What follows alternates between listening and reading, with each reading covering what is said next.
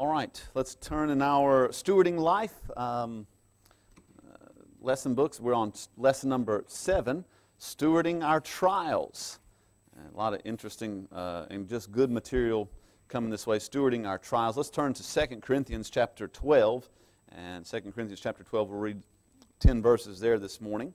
I need some readers. How about that? I need some people to read for us this morning. In 2 Corinthians chapter 12, we'll read verses 1 through 10. And uh, let's see, who'll read verses 1 and 2? Who'll read verses 1 and 2? Brother Patrick's got 1 and 2. Who'll read 3 and 4? I read 3 and 4. Brother Amory's got 3 and 4. 5 and 6. Who'll read 5 and 6? Bruce has got 5 and 6. 7 and 8. Galen's got 7 and 8. And 9 and 10. Lucy said she'll got 9 and 10. All right, everybody got their assignment? All right, go ahead, Brother Patrick. Start us off.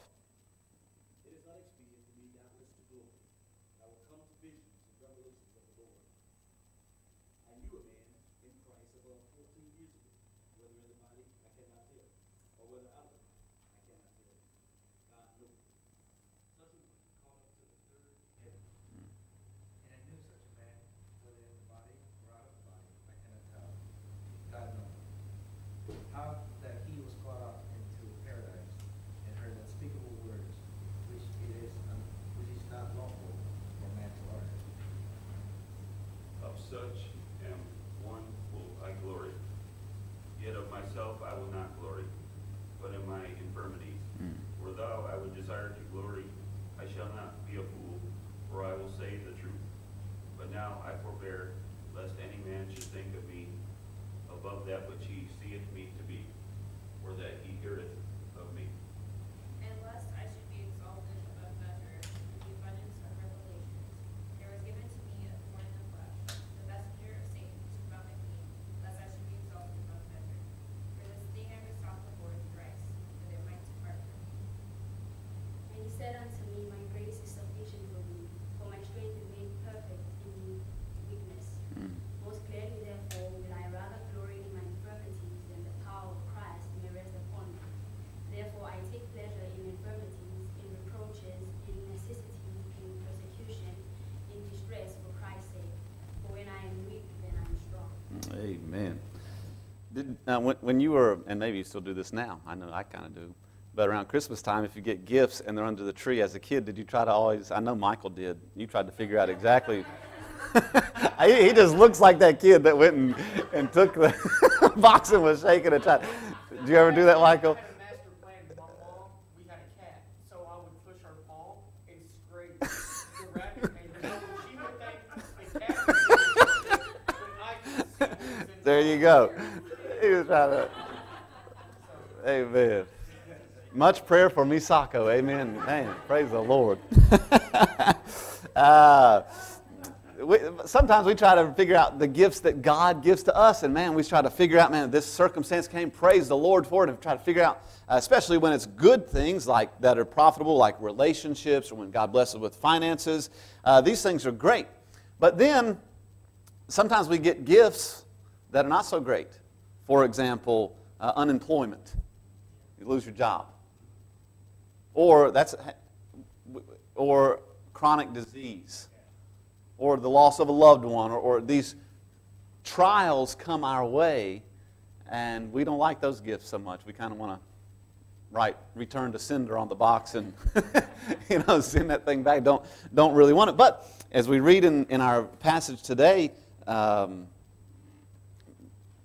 paul says several times i glory in my infirmities i glory in the trials uh, that are coming my way and what a what a different perspective if we're talking about stewarding life when the circumstances that are really out of our control come how we respond to those i mean Paul sets it as if to say we should glory in it. When the rough things come, not to try to, oh, I just got to get this thing back. and No, but take it and be thankful for it in some uh, way. I mean, it's not easy. We're not talking about carnal people this morning. We're going to, talk, we're going to move into the spiritual uh, because it's not in us to, to live like that. Um, one famous Christian, and he was made famous by his trials, uh, is a good picture of this, a man by the name of Job. he's, he's famous because of the trials that he went through. Um, we first meet Job. He's the wealthiest man in the East. He has everything a heart could wish for great wealth, close knit family. He's a leader in the community. He has the respect of all who know his name. Uh, yet in one day, he loses it all. I mean, all's gone family, friends, riches, house, everything's gone except his own life, but even that was somewhat destroyed with uh, sickness. And his wife didn't leave him, but she told him, Why don't you just curse God and die? So she, he even lost her support. she said, Dost thou still retain thine integrity? Curse God and die. And in that very moment, Job made a choice. He could have said, That's it. But Job made a choice, and he said this in Job chapter 2, verse 10 Thou speakest as one of the foolish women speaketh. What? Shall we receive good at the hand of God, and shall we not receive evil?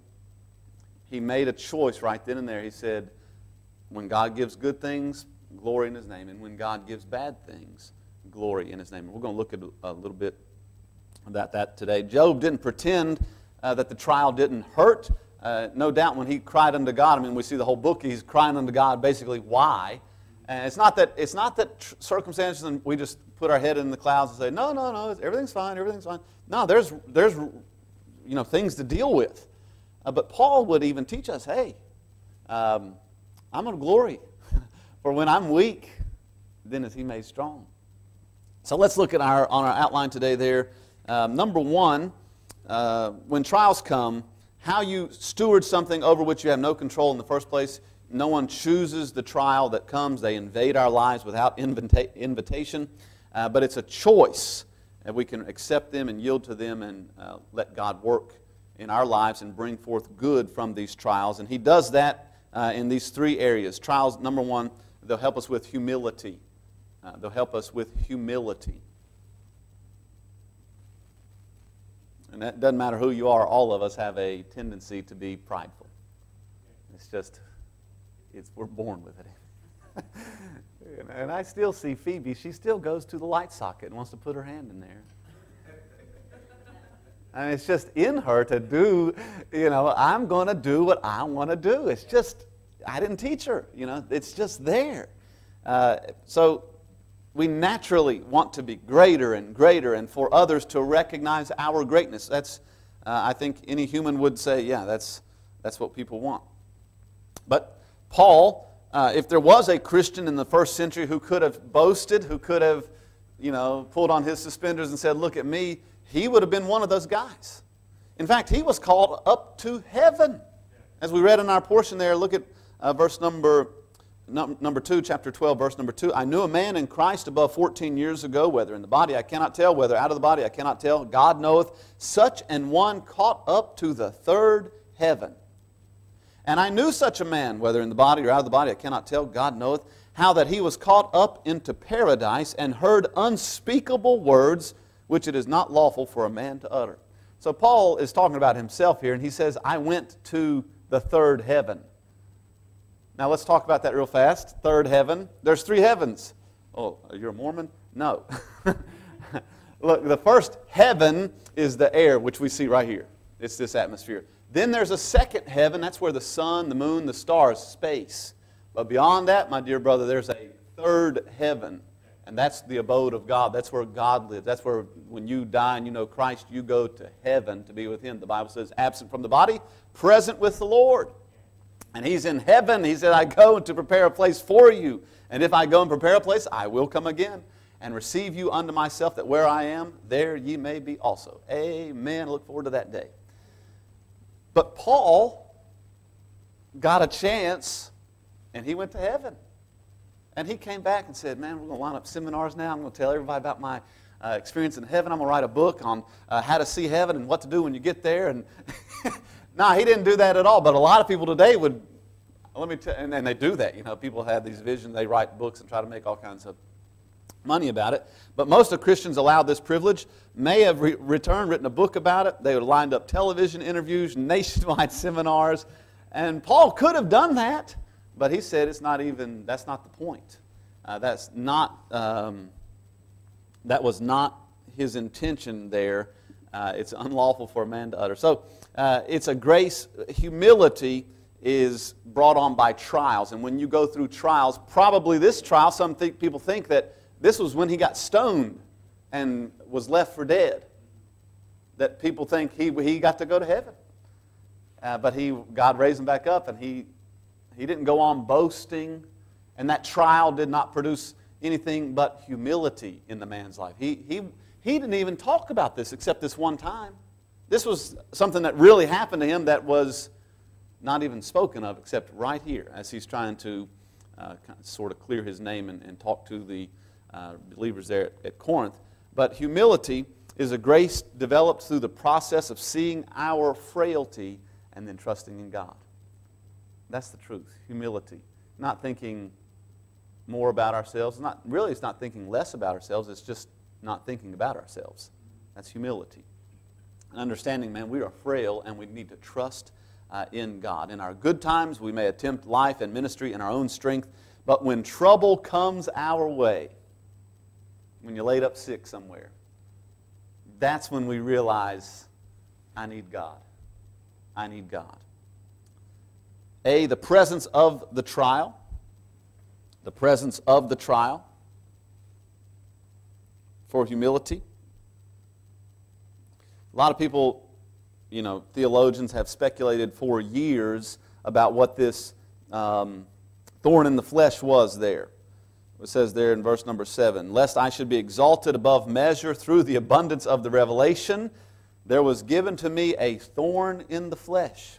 Now, what, does anybody know what some positions are on what, what was the thorn in the flesh? Lucy? Yeah, um, because he was building the church of Corinth, and then the false preachers were coming in and destroying everything that he was worked hard for. Mm-hmm. And I've heard the explanation because that's what he talks about in the beginning of chapter 11, I think.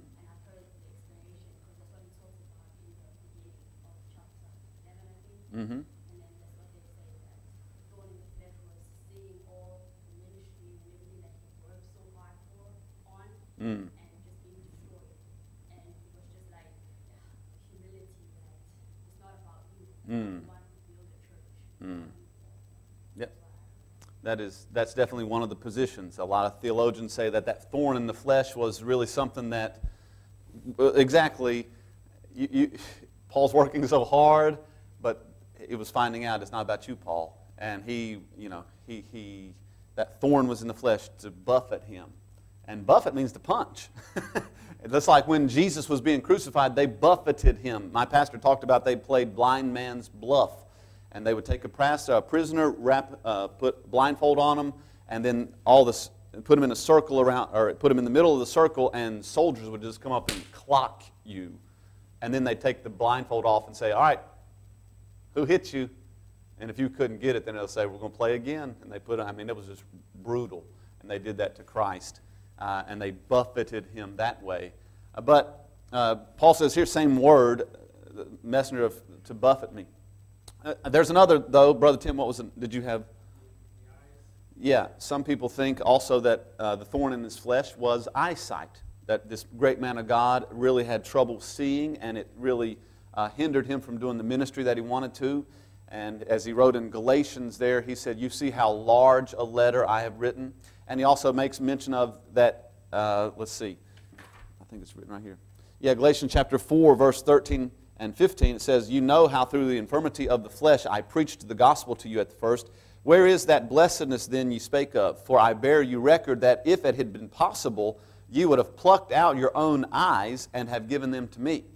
And so some people think that Paul uh, had a, an eye problem that he desperately wanted to get rid of so he could go on. I mean, he no doubt thought that this was hindering his service for the Lord. And he sought God three times uh, to get rid of it. Uh, to Paul, it felt confining, whatever it is, whether it was this, uh, it was true that, man, the, the, things he's working for are just not uh, coming together, or whether it was a physical eye problem that he had. Whatever it was, uh, it was a constant pain, uh, a constant and painful burden. To Paul, it felt confining to the point that he believed he could minister better without it. In fact, three times he pled ur- urgently with the Lord to please take it from him. Uh, verse number 8 there it says, For this thing I besought the Lord thrice that it might depart from me. And here's a question for us Do we have a thorn in our side? It's an expression, people. He's a thorn in my side. You know, maybe, uh, maybe it's there for a good reason. Maybe it's a trial that's there, that's it's there and it's going to help us. and maybe it'll help us keep us humble. That's what Paul, because Paul could have been, man, have you been to heaven? I have. Luke, did you go to heaven? Oh, I went there. Hey, John Mark, Barnabas, y'all, any y'all been to heaven? I've been to heaven. And I've had revelations and I've had visions.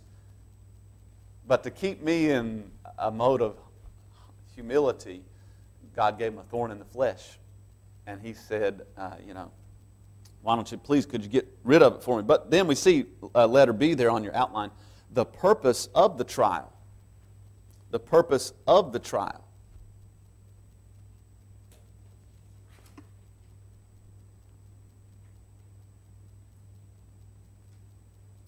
The purpose of the trial was, as we were just talking about, it's, uh, it was to keep him humble. It kept him humble. Because here's a man who wrote 13, at least 13 of the New Testament, of the 21, 20, how many books are in the New Testament? 27? Come on, anybody? Old Testament is, there's 66 total. Anybody got a phone? 27. Good. Siri, how many books are in the Old Testament? how many books are in the New Testament? I think it's 27 and then 34? No, 30, 39. That's it. I got it. 39 in the Old Testament, 27 in the New. And Paul wrote uh, at least 13. Who can name the books Paul wrote? I'll get you started. Uh, Romans.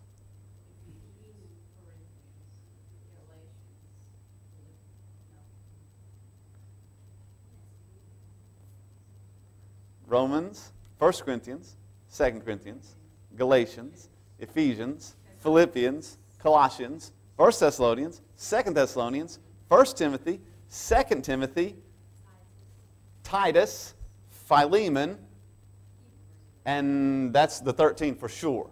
A lot of people do think he, he was, what, that he wrote, huh? He didn't write, no, Luke wrote Acts. What's that? So does Paul? Under Paul. and we don't know if he wrote Hebrews or not, but we do know that it's the man's job to make the coffee in the morning because he brews.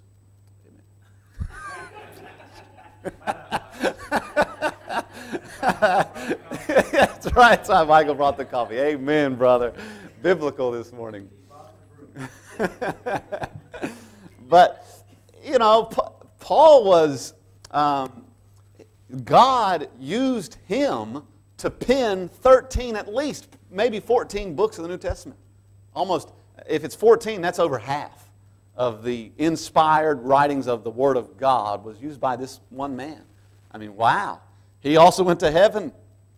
Um, but the truth is this thorn in the flesh and this idea of stewarding our trials, and he went through a lot of things.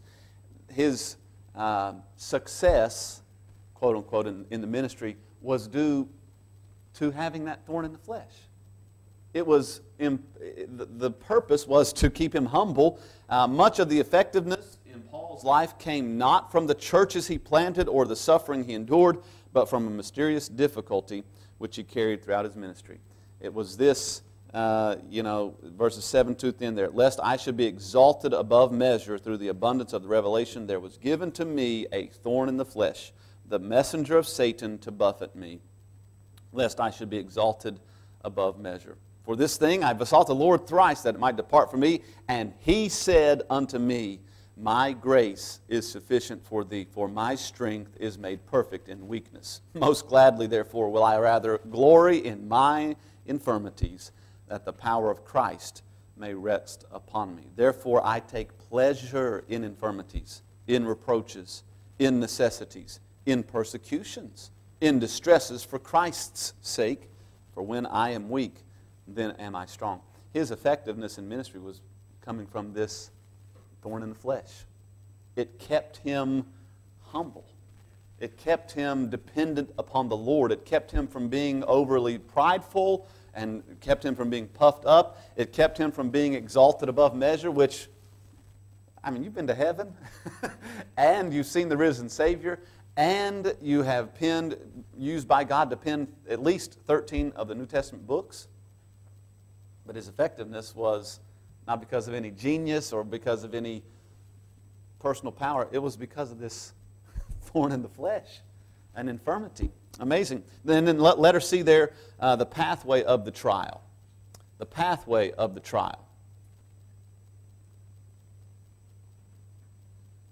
Now, this is interesting.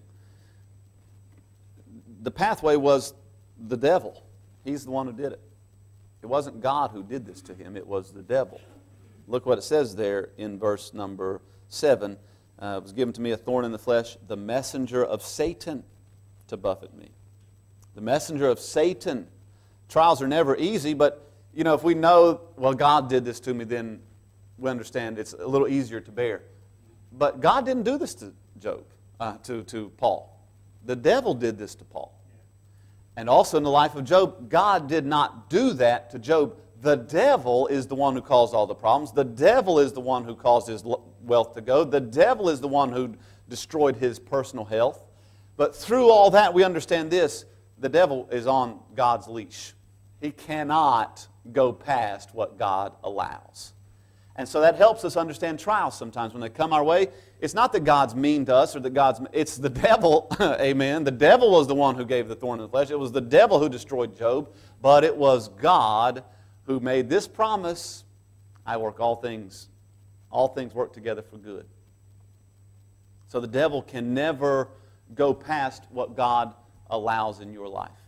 It might not be directly from God. The trial, and this is good to keep in mind, might not be directly from God, but it's allowed of God, which then makes us think God's in control. And the devil can't destroy me, though he wants to. That's nice. It's, I don't think about it. Yeah, God's trying to destroy me here. No, God's not trying to destroy you. The Satan is the destroyer. He's the one who wants to destroy you. But it's God who will say, That's enough at all times. And we see that in Paul's life, we see that in Job's life. The stories, these two stories of Job's sorrow, Paul's pain, reveal the comforting truth that even Satan can go no further than God allows. He just can't do it. Um, thus, everything that comes our way, though it may be not sent by God, it's filtered by our loving Father. And so, absolutely nothing enters our lives accidentally. Additionally, God allows nothing into our experience that He does not have the power to redeem for our good and for His glory. Amen. We know that all things work together for good to them that love God. And my pastor used to talk about making a cake, and you take the individual ingredients of that cake, and it's not nice to eat a spoonful of salt. And it's not nice to take a big pile of flour and just shove it in your mouth. It's terrible. I mean, nobody wants that. Or eat a raw egg. Unless you're Japanese, I mean, I think some Japanese people like to eat raw eggs. But for the rest of, of, uh, of us, you know, raw, eating raw eggs is not good, but when you take all those ingredients together and put some sugar in there and, and flour and salt uh, and uh, the eggs, and you mix it all and you apply the heat, guess what you get? You get a beautiful cookie, you get a beautiful cake, it tastes great. And that's how it is with our lives. Sometimes the individual things that go on are like, this ain't good. this doesn't taste good.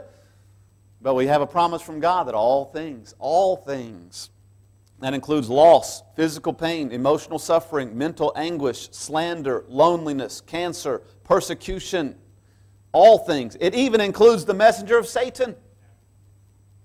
All of it works together for, God, for, for good to them that love God. Amen. I mean, that's, we're talking about stewarding life, and part of life is having trials and, and having tribulation and having those things. And this morning I'm going to preach on Abraham. And um, somebody said that the constant communion with God is simply preparation for the trial that's coming. Because it's coming, and we'll see that this morning. But, you know, as we um, walk with God and, and live with the Lord there, all things work together for good. All right. This, this seems to remind me of Fanny Crosby. Mm.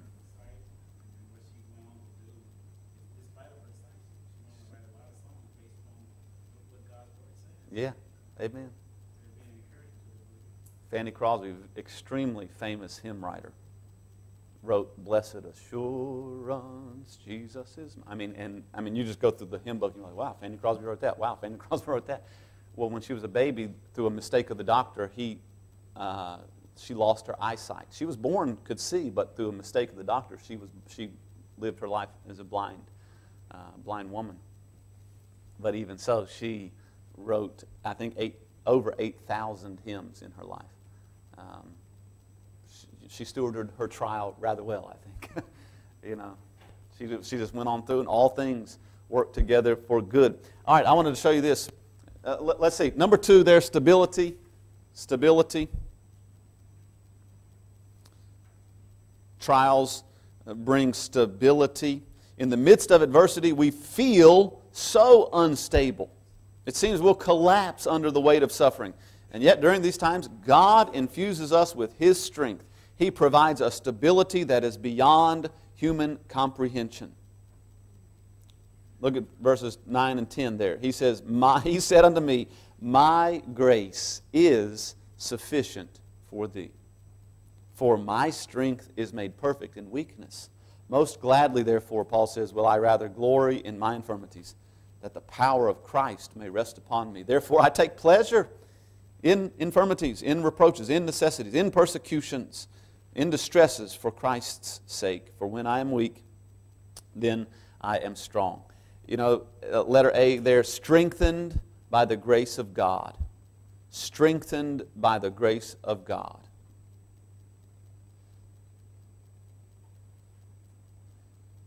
It's, it's, it's at the times that we are, um, you know, at our spiritual low or the times that we are going through the, like the, I can't believe this. It's then that the grace of God it just overflows your life. I just think about my own situation that one time when I got deployed to Africa, Titus was three months old. I was getting out of the military. I had seven months left in active duty service and I'm preparing to leave the Air Force. And then I got deployed to Djibouti, to the Horn of Africa. And I just thought, what is this?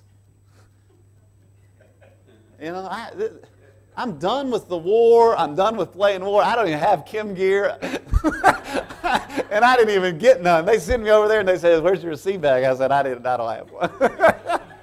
it was bad. You know, but I just thought, what is, what is going on here? This is not uh, part of the plan. But I tell you one thing, uh, and that was on Christmas Eve to beat it all. I mean, I, was, I showed up on Christmas Eve. And then the guy, my officer, Master, I can't remember his last name, but he goes, Who are you? He said, We don't even have you on the passengers. We didn't know you were coming here. this is unbelievable. But I, am just telling you, some of those times, for that five, six months, uh, I had some of the sweetest times with the Lord. Seriously. It's, you, and, and you can't enter that unless you go through it. I, I, just, that's just, uh, it's kind of a paradox there, but uh, I mean, I, I, you talk about depending on the Lord. Good night. And it gets worse. I'm an AFN broadcaster. I'm a trained journalist. There to do my job. And then they said, We've got to augment some people to stand guard at the gate. And, I, and they said, Airman McKittrick, we're pretty much going to put you out there. and I said, Lord, I, can't, I, I don't know any, I'm, I mean, you got to check. I mean, first of all, I'm in the Air Force. And then second of all, I'm an AFN guy. I'm not necessarily, uh, I'm not sliding the Air Force. I'm in it, well, 70 years but I wasn't, I wasn't in the war mindset. I wasn't in the mindset of getting my M16 on and going out with my Kevlar uh, and standing the gate to stop any you know, Arabs that might want to come in. And I wasn't in that mindset. And I just thought, Lord, what is going on here? But he worked it all out. But I learned to trust in him. And, you know, he, uh, he had a master sergeant, a senior master sergeant come through. He was the shirt, our first shirt. And he found out that my leadership was going to put me on the gate. And he, he was about this tall, but looked like Bo, if y'all remember Bo. I mean, this guy was bodybuilder, a little shorter than me, but the size of Bo. And just looked mean. I mean, he just looked mean. And he went to the leadership and said, No, we're not doing that. He's got a job to do, and And, but I mean, I, I watched the Lord work that thing out, and I just thought, Phew. but those are the tough times, you know, those are the trials, and you got to trust in God and say, God, I obviously don't like this or understand it, but I'm going to trust your word. All things work together for good to them that love the Lord. And, and God did use that in my life and, and in others. So, uh, strengthened by the grace of God, be purified by the grace of God. Purified by the grace of God. We got to hurry, I'm sorry. And then number three, letter three, number three there, ability. Ability. So our, through our trials, God gives us humility, God gives us stability, but He also gives us supernatural ability through His power. Through His power. A, and we don't have time to get into this, but I wanted to show you a quick uh, three. And then B, through His precepts. Through His precepts.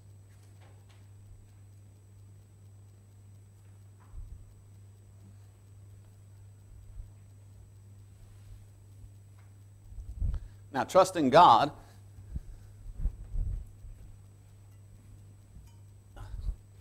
trusting God through trials is kind of like this. When you're right starting to walk with God, you might get a five pound trial.